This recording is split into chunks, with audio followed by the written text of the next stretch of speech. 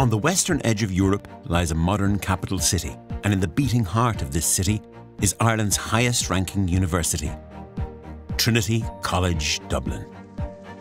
Trinity is a modern, living, breathing campus, pulsing with people, energy, and ideas.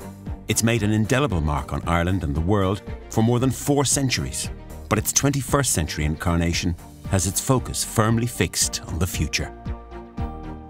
Today, Trinity's campus is Ireland's largest research centre, a place where leading experts from the humanities, the sciences, and medicine are creating research that matters and then turning that research into impact.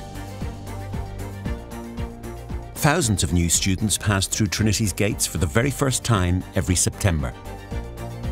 They join a community of 3,000 staff, 17,000 students, and alumni more than 130,000 strong. A community that is inclusive and welcoming and active in every corner of the globe. A community that will bring out the best in each student and help those students to make their way in life. Our students are all different, but they share one characteristic. They have never been content to accept life as they find it. They agitate. They innovate. They build new worlds. Perhaps this is why Trinity has produced one fifth of all Irish spinouts, more entrepreneurs than any other university in Europe, and more than half of all the Nobel laureates from the Republic of Ireland.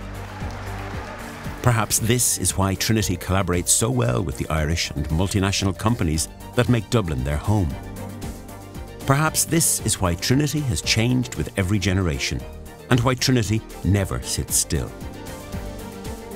Perhaps this is why one of the world's great cities is home to one of the world's great universities. Trinity College Dublin.